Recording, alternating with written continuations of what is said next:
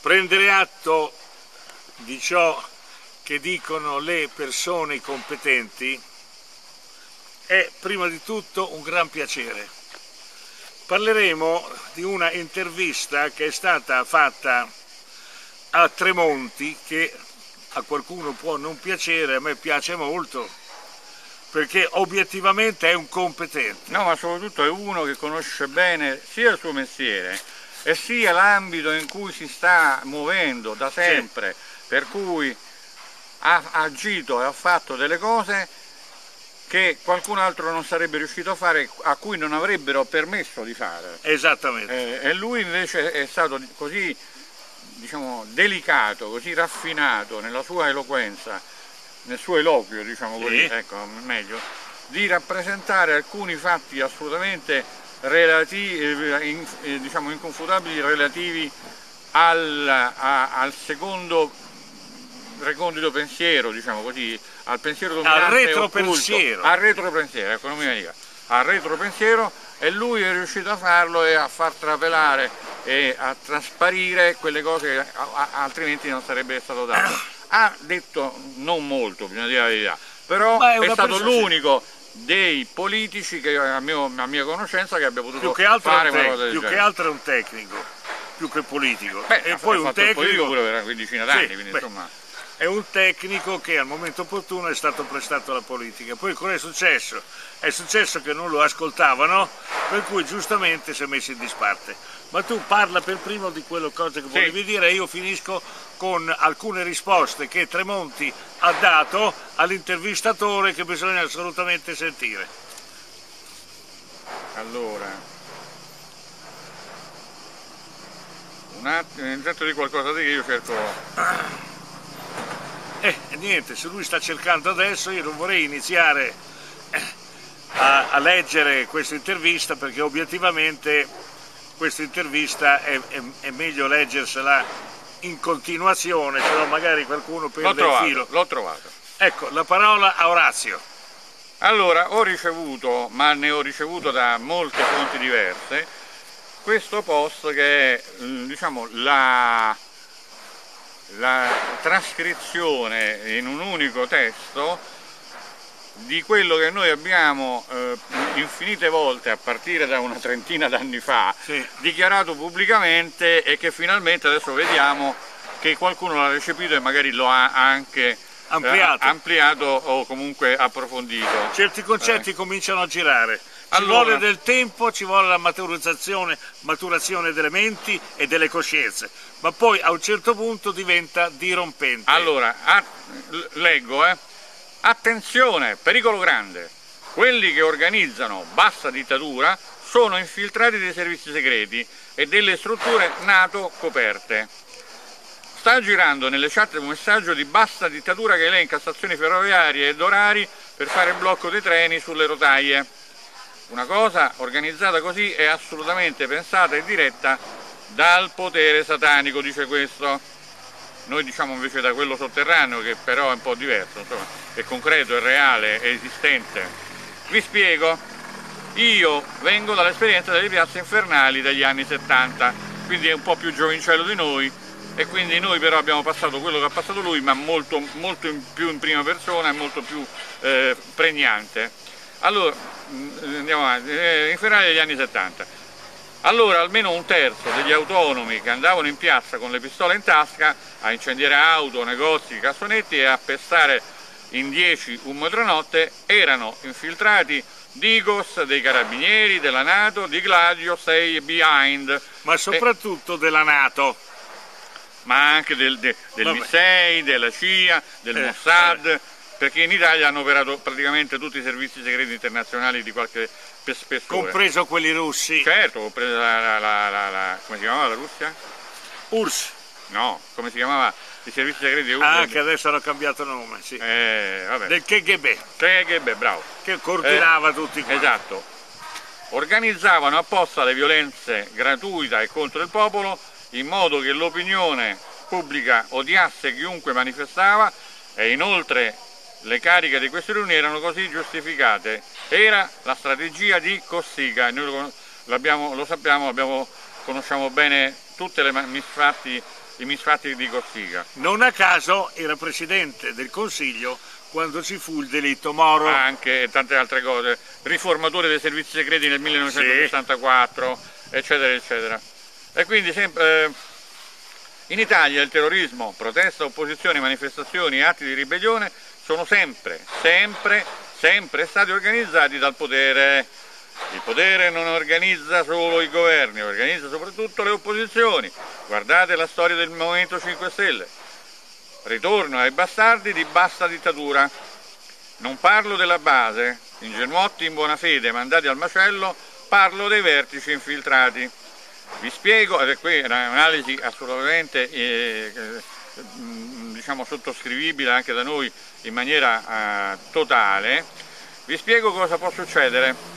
E vi sto facendo un riepilogo rapido del terrorismo, fra virgolette, da Portella della Ginestra, noi abbiamo parlato varie volte di Portella della Ginestra continuiamo a parlarne. e, e, di chi era stata pagata, l'abbiamo detto l'altro ieri, l'abbiamo detto ieri. Stimolata, abbiamo altre informazioni, abbiamo altri testi che possiamo leggere, c'è un libro che è uscito di recente che è ancora reperibile in edicola, pubblicato a cura della Gazzetta dello Sport, Incredibile. Che tratta, no, perché la Gazzetta dello Sport è un editore, sì, è, una, è, una, è, un giornale di larga effetti. diffusione certo, certo. di Rizzoli, in realtà è uno dei libri pubblicati da Rizzoli. Sì. È una serie di cui io ho già fatto vedere alcuni titoli e quello di ieri, era, che io ho acquistato ieri, era intitolato A Capaci e lì parla ovviamente delle premesse di Capaci, ma non ci può essere Capaci se non c'è Portella della Ginestra. Eh certo, eh certo. Va bene?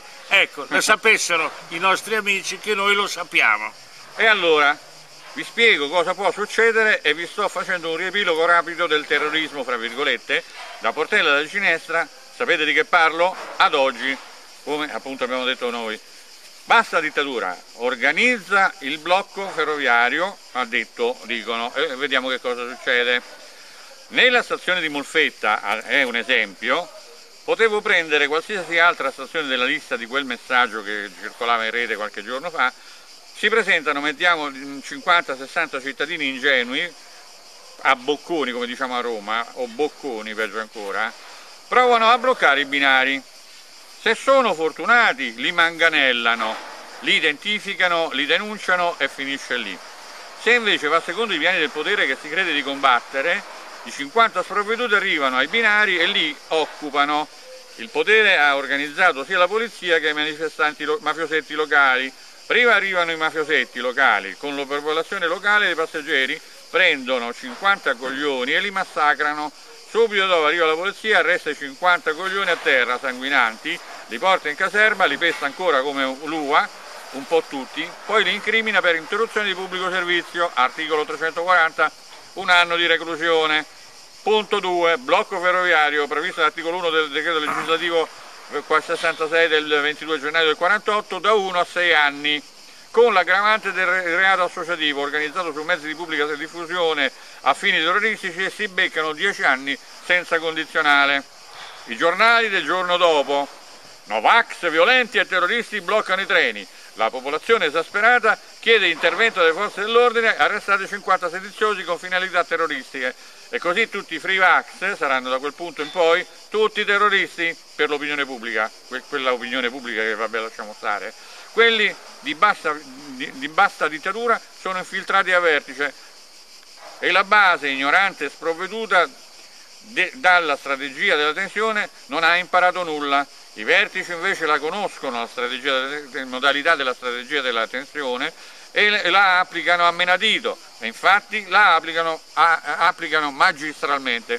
Allora, per dire, questo che dice questo signore qua, che non so, è un anonimo, noi eh, non abbiamo bisogno di nasconderci mi sembra che debba essere anonimo. l'anonimato no? noi lo diciamo chiaramente da 45 anni 70 anni Giorgio. Lo dice da 70 anni. Finalmente c'è qualcuno che lo dice insieme a noi e forse qualcuno che capisce, va a tentare di capire e si rende conto che effettivamente quello che diceva lui questo tizio qua e quello che diciamo noi da 50 anni io e 70 anni lui è la verità inossidabile incontrovertibile quindi, cari amici, Io l'ho detto ieri anche ad Andrea Gioia e agli altri che stanno facendo il, eh, come si dice, no il picchettaggio, il, point of presence, eh, la postazione, come si chiama? Non viene, vabbè, la, vabbè. Non viene la parola, eh? il presenzialismo, chiamalo come ti pare, insomma.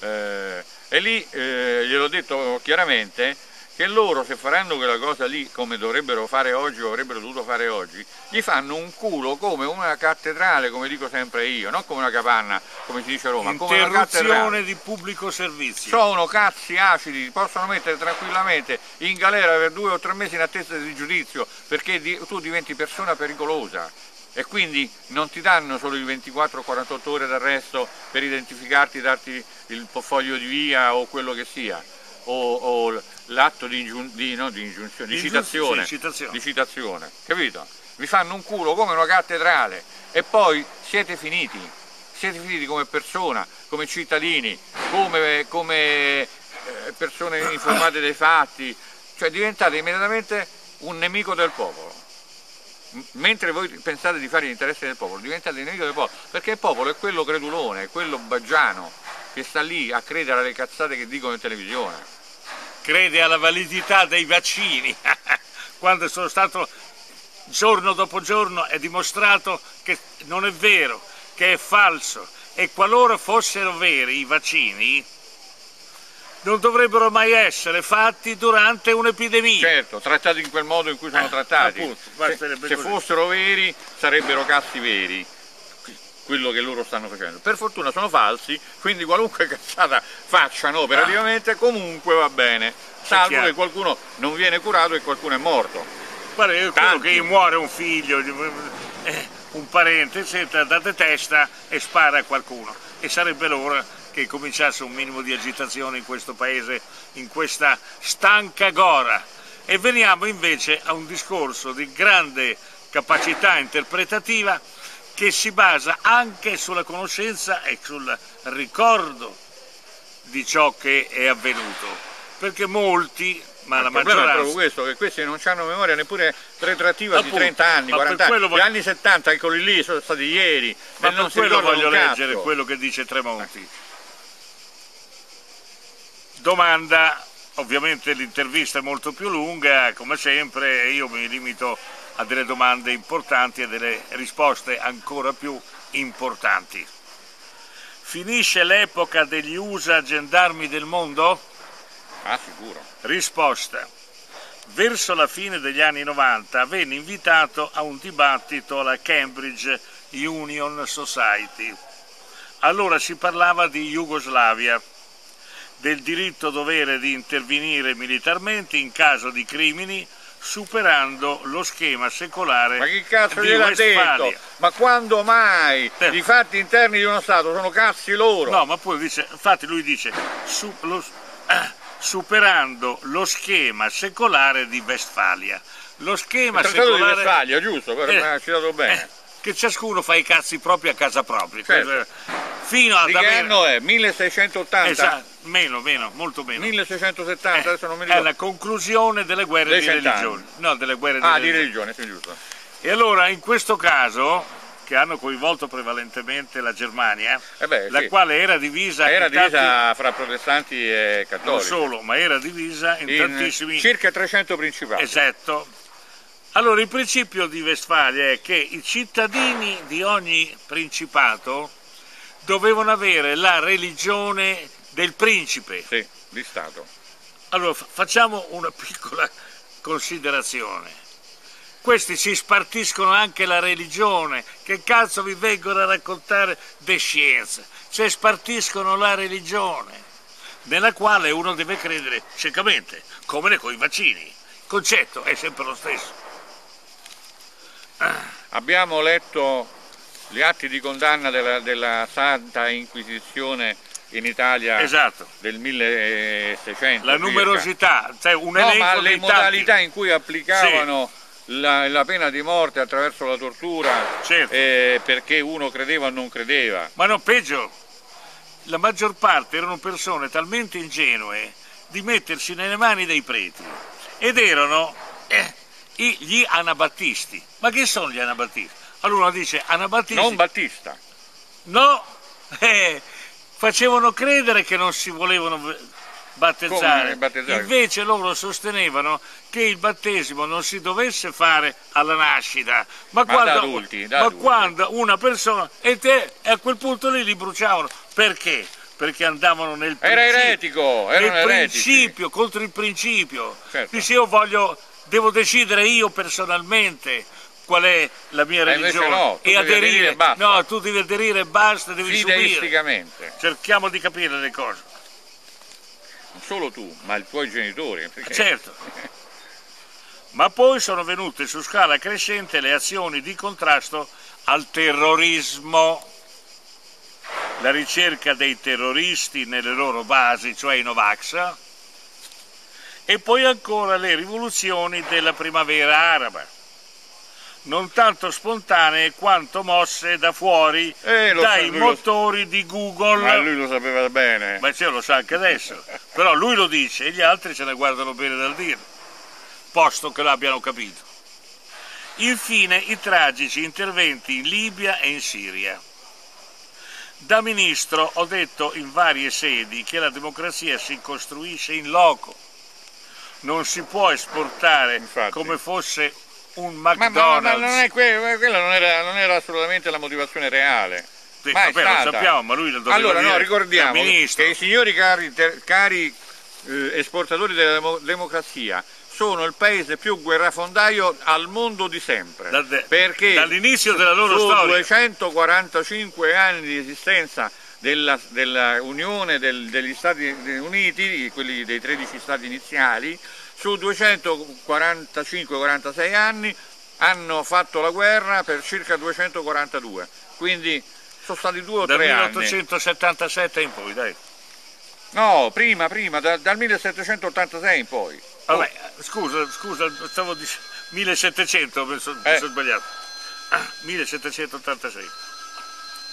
La democrazia non si esporta a meno che non esista già una cultura democratica nei paesi nel paese ricevente.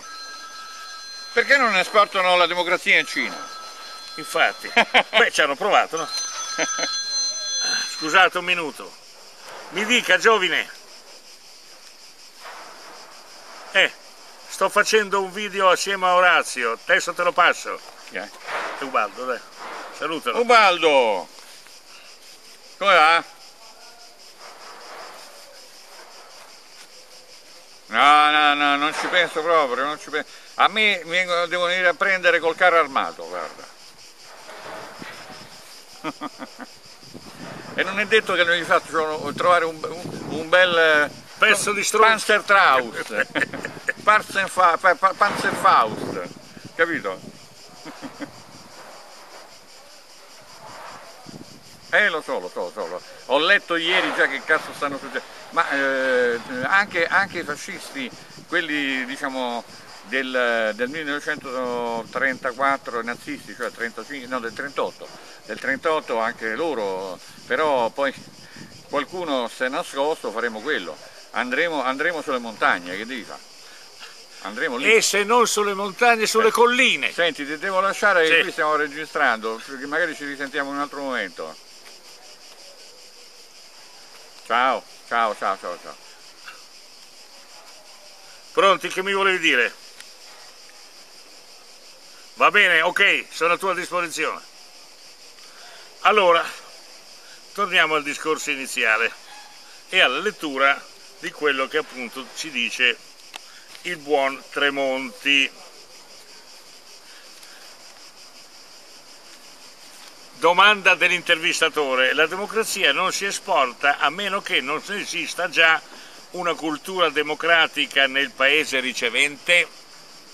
Per me, risposta, per me l'espressione più autentica della democrazia è quella contenuta nella Carta Atlantica del 1941, l'accordo sottoscritto da Roosevelt e Churchill, dove la democrazia è presentata come un modello, non come un obbligo, e certo non come un prodotto. No, ma poi mi sono andato a vedere tutte le ieri sera, siccome era, avevamo fatto un'affermazione ieri a proposito sulla Repubblica degli Stati Uniti. Sì. Sono andato a indagare, mi sono studiato sì. un bel po' di testi, un po' di leggi sì. degli Stati Uniti.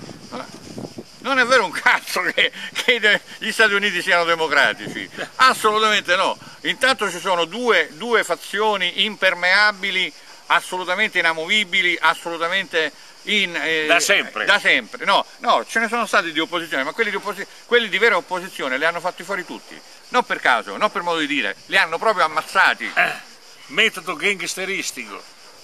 Quindi non c'è scritto da nessuna parte sui testi operativi della Camera Bassa e la Camera Alta, del Congresso, eccetera, eccetera, che, che la parola democratica non appare quasi mai, appare di, di, di sponda, molto di sponda, per cui è, è, è secondario. Le elezioni sono fatte in maniera del tutto illiberale, le, le, votazioni sono fatte del tutto illiberalmente. E così via, tutto quello che, anche, anche le elezioni dei partecipanti al congresso non vi sto a raccontare, andatevelo a vedere. Per noi sarebbero veramente ah. delle, delle, sconcezze. No, per noi italiani, nonostante tutte le angherie che ci hanno fatto in questi ultimi 30 anni, per noi siamo un paese eccezionalmente libero, ancora Beh, adesso. Ideologicamente? No, anche, anche proprio praticamente. Non nei, nei fatti è abbastanza... Vabbè, ma, ma, adesso, negli ultimi anni, eh beh, due, tre, ma fino a, 3 o 4 anni fa eravamo estremamente più liberi degli eh, Stati certo, sono, anzi, degli Stati Uniti è sicuro. Allora, domanda. È in questi termini che l'America è stata e potrà ancora essere grande, dice Tremonti. Tremonti, il quale noi lo sappiamo ha un occhio di favore, eh sì. vede sempre con favore gli Stati, Uniti, gli Stati Uniti, ma devo dire francamente che ogni tanto gli Stati Uniti elaborano delle personalità di, di tutto rispetto, eh, ricordiamoci. L'Afghanistan è l'ultimo atto di un'epoca che si chiude? Sì, no, dice no, eh, si usa dire che l'Afghanistan è storicamente la tomba degli imperi. Aggiungo che da quelle parti c'è anche la, la, tomba di Alessandro Magno, sì. il primo che si avventurò in quelle contrade con l'idea di costruire la civiltà perfetta. La tomba metaforica perché lui è, è morto ad Alessandria. Eh? Non è detto, non si sa esattamente. Eh no, no, è morto Comunque noi nella, sappiamo, nella noi sua corte, con la sua corte noi avvelenato da, da, da, qualcuno, da una, sappiamo, da una donna. Noi sappiamo che Alessandro è arrivato, le avam, gli avamposti sì, sono arrivati anche in Afghanistan. Sono arrivati, ma molti là nell'Afghanistan, perché proprio un, amico, un mio amico ricercatore archeologo ha scoperto assieme all'equipe che con lui Lo studiava Iskander eh, era, eh, ha scoperto il punto di arrivo delle avanguardie delle truppe di Alessandro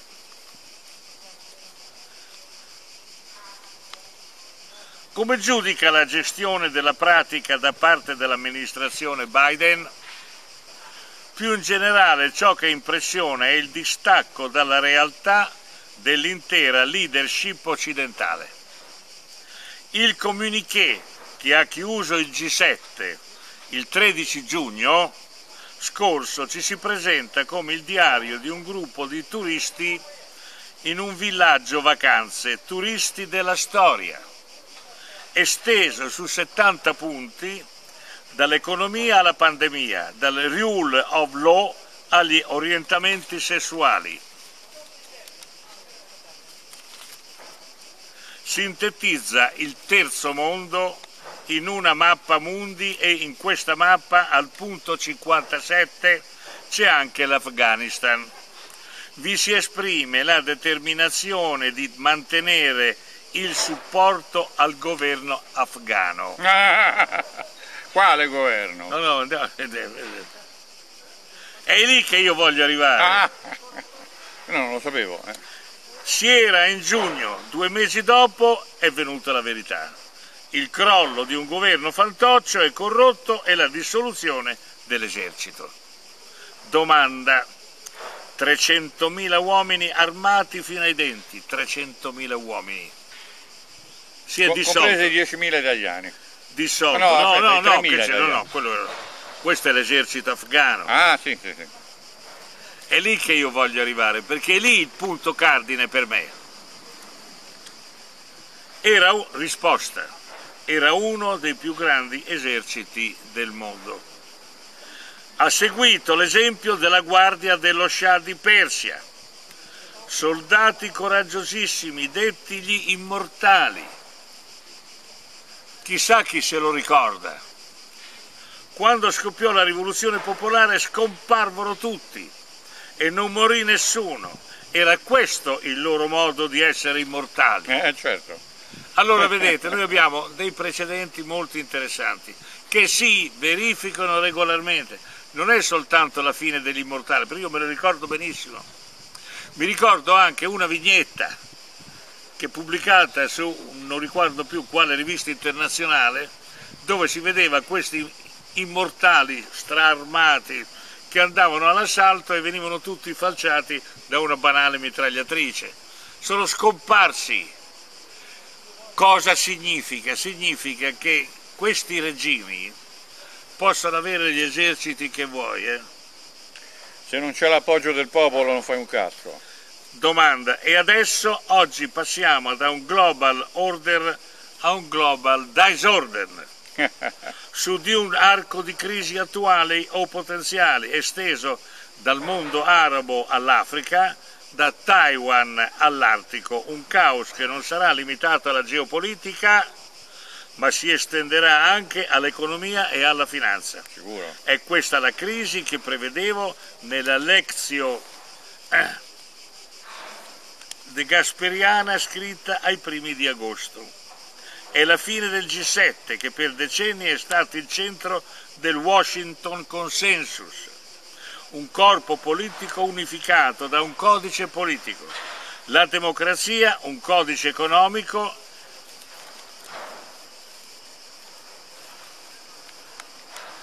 un dollaro, un codice linguistico l'inglese. Il resto dell'umanità ruotava intorno al G7. Ora non è più così ed è probabile che il G20 lo sostituisca. Russia e Cina hanno già costruito un asse su cui giocare la partita dei loro interessi. Ora, questi sono degli aspetti molto realistici che ci insegnano molte cose, tra cui per me la cosa più importante è che quando tu pretendi di dominare una popolazione con la menzogna e con la violenza, finisci male. Ma non è soltanto l'esempio dello Shah, che io ricordo perfettamente il crollo quando lo Shah se ne andò, crollò tutto il sistema. E non era che fosse perché il popolo credeva ah, a quei tre o quattro pretonzoli, che poi ovviamente hanno continuato a comandare, perché oggi in Iran continuano a comandare quei preti. E non è cosa da poco. Eh, ormai è da 78, Eh, appunto. cioè sono 43 anni. Domanda, saremo in balia delle autocrazie? Userei questo termine con moderazione. Pensate che sia facile governare democraticamente un paese di un miliardo e mezzo di persone, un paese che va da Anna Karenina a Gengis Khan? Eh, questi sono i, i retaggi veri, reali di una persona che è un vero uomo politico. Il vero uomo politico capisce le cose e quando lui cita Gengis Khan e la paragona a Anna Karenina significa che prende in considerazione un, un excursus Da A a storico. A a e, storico e culturale che è quello che ha trasformato la Russia. Poteva aggiungere da Anna Karenina a Trotsky e da Trotsky a Putin. Però la realtà è questa. Per cui, e con questo concludo perché qui ci sono altre considerazioni sulle quali vorrei soffermarmi un'altra volta, cari amici, voi credete di puntellare il vostro potere terrorizzando le popolazioni col rito del pan- della pandemia? Vi sbagliate, vi sbagliate. quando verrà l'ordine di crollare, di voi non resterà nemmeno un pezzo di unghia. L'odore, l'odore. E nemmeno l'odore, che poi sarebbe in questo caso sarebbe il letame. Puzza, la puzza, la puzza di letame. Dopodiché tanti saluti. Ricordando sempre che il letame almeno a qualcosa serve. No, è un concime naturale eccezionale, esatto. soprattutto quello di pecora. Esattamente. Quindi, cari amici, voi nemmeno letame siete. Eh. Solong. Pace e bene. E qualche volta anche un po' più solong. Sì, dal di dietro, parlariere, parlariere, lo dobbiamo dire in francese.